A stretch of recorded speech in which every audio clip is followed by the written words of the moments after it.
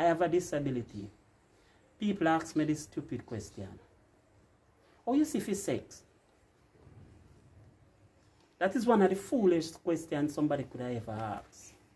Understand me? I don't know where that coming from. Found out I had glaucoma about 1999, which is the reason for my blindness at the moment. How old were you at the time? About 23, when I realized that I had an issue with my sight, it was it was kind of devastating because I am somebody who born in Kingston, grew up on the street, live on the street as a street boy from about nine years old. So growing up and finding out that now gonna have your sight, there's gonna be a, a, a lot of challenge. When I found out I was blind was one day one day something bite me on the back and when my prips over my shoulder left side I not see anything over there. So but when I go so over the right side I kind of glimpse over that side.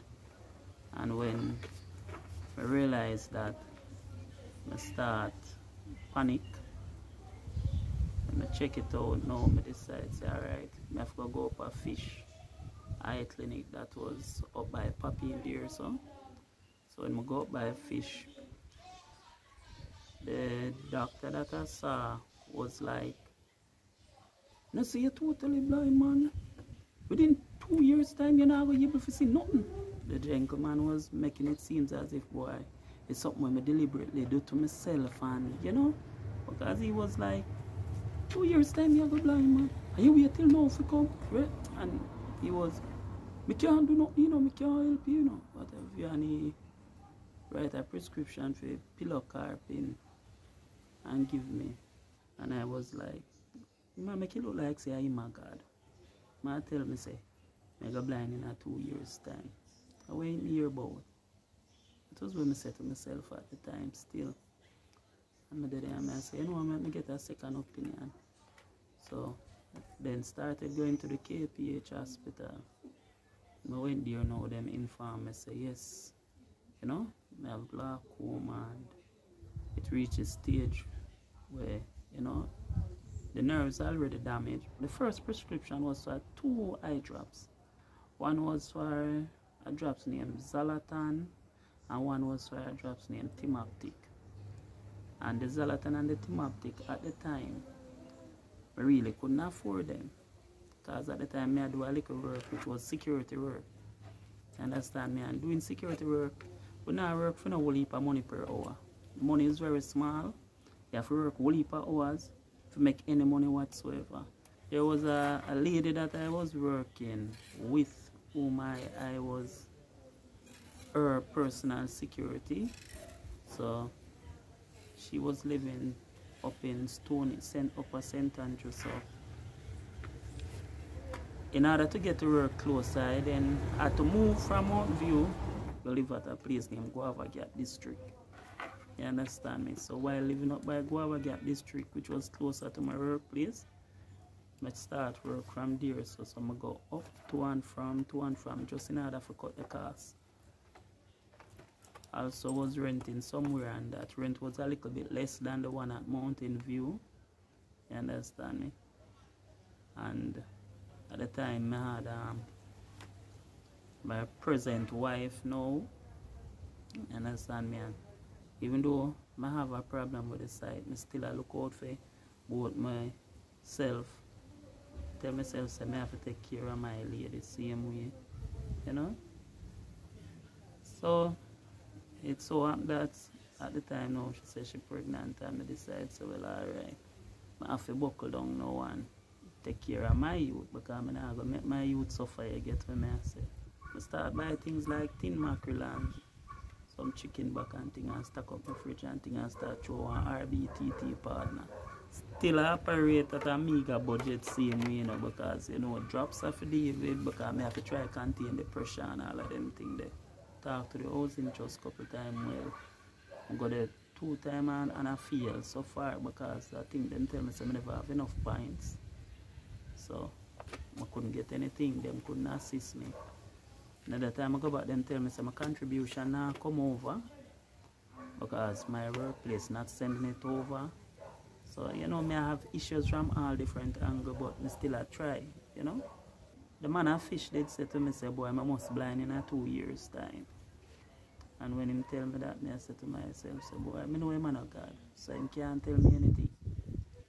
But at the same time, in the back of my mind, me I say, boy, that look like me have two years to start out my whole life. That not gonna make no sense. Two years can't do all of what I'm supposed to do. You understand? Because I can't take two years to buy one house or build something. I can't take two years to, you know, two years time when me pick them born, me not even can see them. All of them little things there. So more time I get depressing because me I think to myself, say really and truly. You know? Knowing say me is a person where normally depend on myself and I do everything. I go and market, you know. I do my work, me, you know, I just some I think to myself. So sometimes kind of come down for me like a break more time, but this I say, boy, you wanna care why, you know. Me I grew up as a youth on the street and the Lord never leave me alone. He always help me out. Check the house in trust again. And say, boy, I may have enough points this time, but I only have land in Longville Park and Mineral Heights. When I say alright, mother like something on Mineral Heights, them show me one, one piece of land where them say them have over there.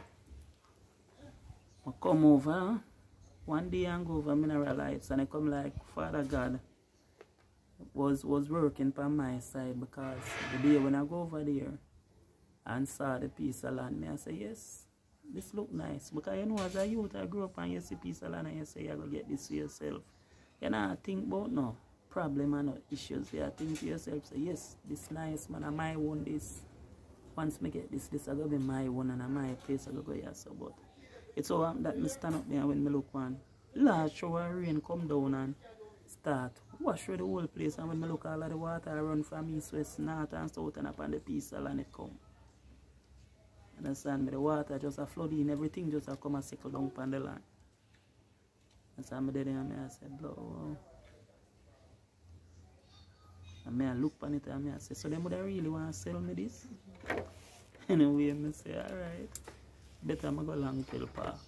You mentioned that you were completely blind in 2015. Yes. So what do you do to support yourself to provide for your family? Presently, I am a personal sell movie and music. I moved in to this house 2005. And when I moved in 2005, I have a whole lot of them. And they broke the house. Um, took um, one, one little laptop that I had at the time when I said I use. Take most of the movie and music them. Um, take few appliances, cut up the mesh them and all of them thing there. And uh, I never really make that deter me same way, you know.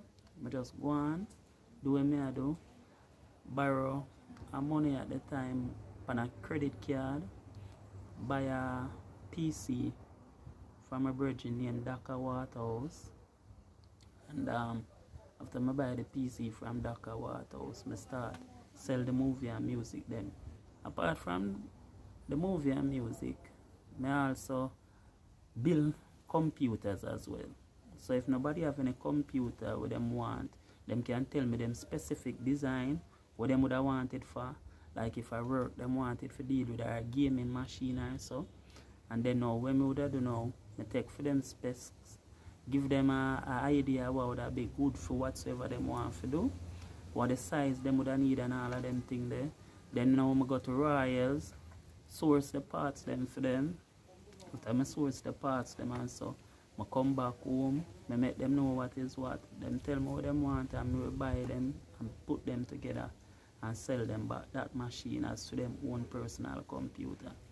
The same thing me do and build my computers as well because apart from the first one when I buy from the gentleman at Waterhouse, I don't buy any more machine, I build all the other machines. I don't study computer or anything but at the time buying the computer from the gentleman at Waterhouse, him always tell myself to tell you the truth, you need to learn certain things in my youth. You can't keep coming to me with a PC every minute. for them little issues here because them little issues here are nothing big. I just common sense and reading, you know. So from that, I find out so boy I have to start fix the thing myself and do this and do that. So I start deal with it that way there until, you know, I kinda get versed in it to the point where if nothing even happen to the PC, I see people have PC where them say can't work and can't repair. Right? Them carrot go all uh, them high school, but them give them top technicians in a, in a, in a computer for fix and them say it no good. I mean take it and fix it. You said you make outfits as well? Yeah man, my wife does sewing but apart from the sewing now, she is the person who really run the machine but I me deal with the design. So these are skills and you learned since you lost yourself? Yes, yes. The sewing are things that I have to learn since my last my side. The computer thing, I have to learn that since the lost side all of these things are things that I pick up after losing sight because really I am a trained shoes maker. I went to a school named Leap. It's a HEART Trust Foundation.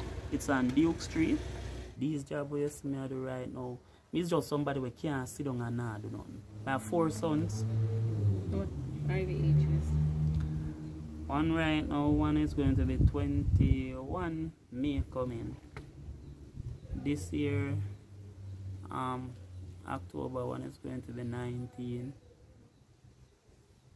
September one is going to be 12 and um, one born 2008 so um, I'm going to be um, um, 14 February to tell you the truth right now sending them face to face it is costing so much even though I don't really have it because one of them now him doing best to go Denbigh.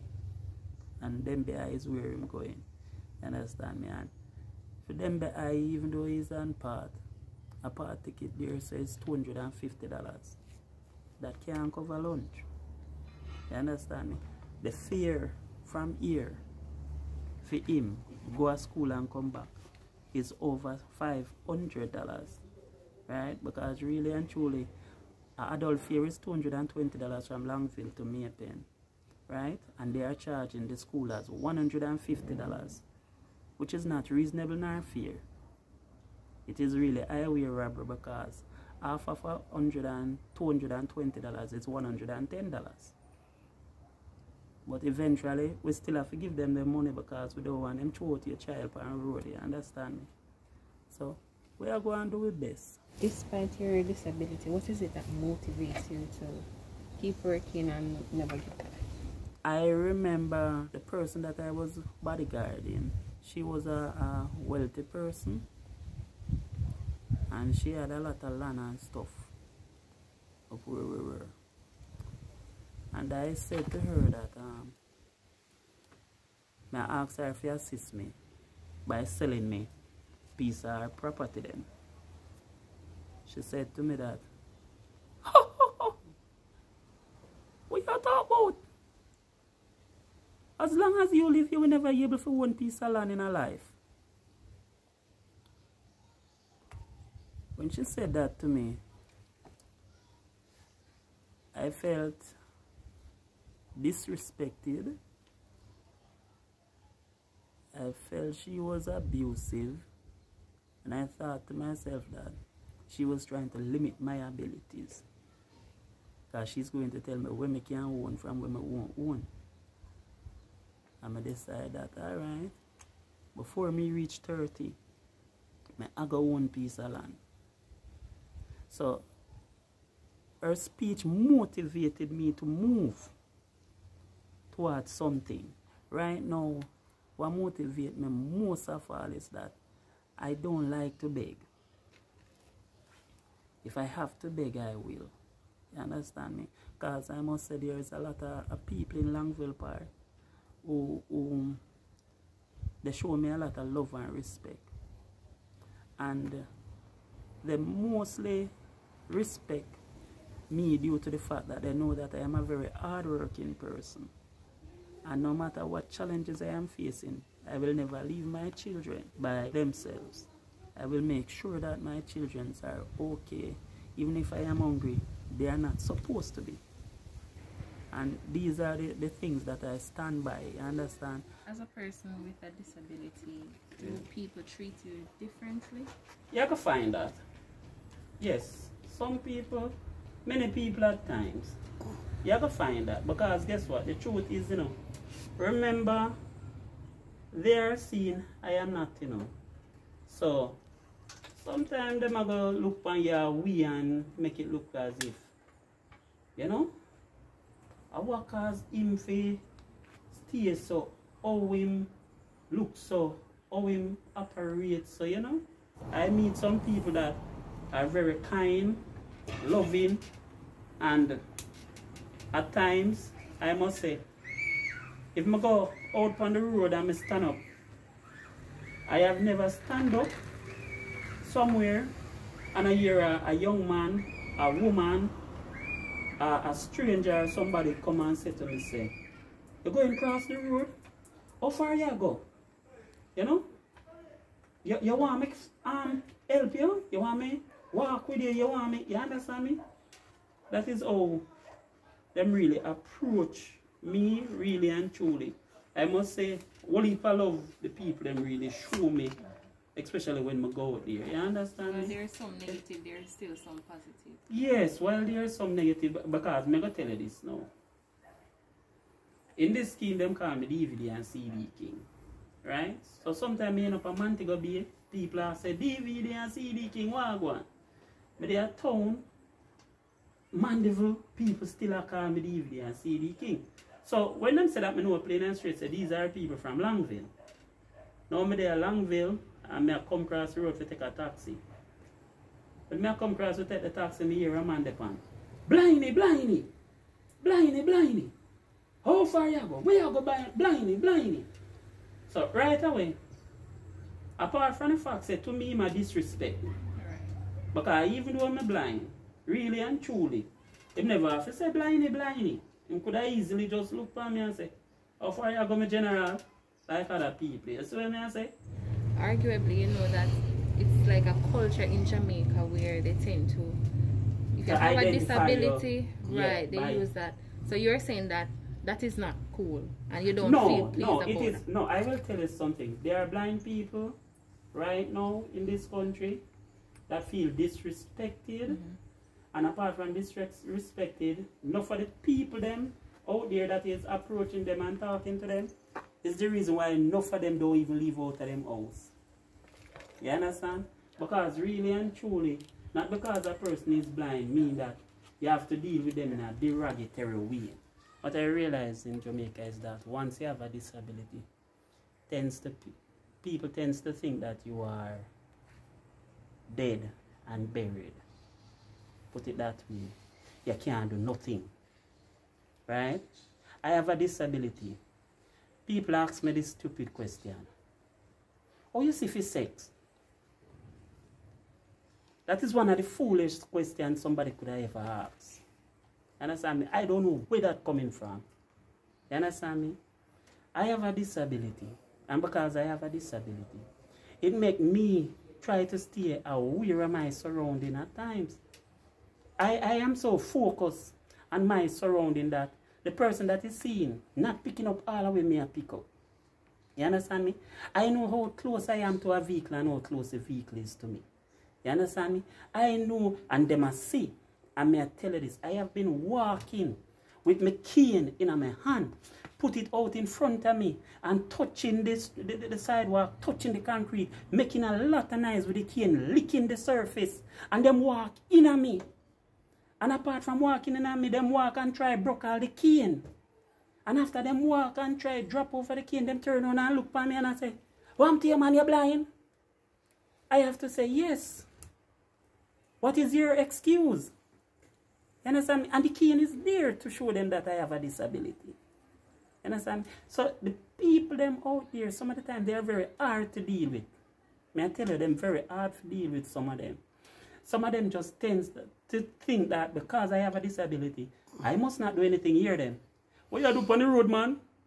You know, if you make somebody come do that, man, stay home. Listen, not because I am blind mean that I can't do anything. I am not dead. I must say thank God for a sister that I have overseas. From time to time, she is the person who assists me monetary, money wise. There are persons in this community who also from time to time they might assist me with some food items like a, a basket or you know a bag with some grocery items and stuff which I appreciate and welcome and I have always made very good use of them. Right now, to tell you the truth, even though you see the house here, if you look at it, it's not completely finished. Are only two areas in the place completely tile. You understand me? But guess what? We are trying to do everything little little. We really can't afford it, but we still are trying to do it. You understand? If there's anybody out there who might want to give me some assistance where work is concerned, some funds is concerned, maybe some material for fix up house and stuff is concerned, like some tile and thing, may appreciate it and welcome and may I tell them thanks before me even get it. Trust me.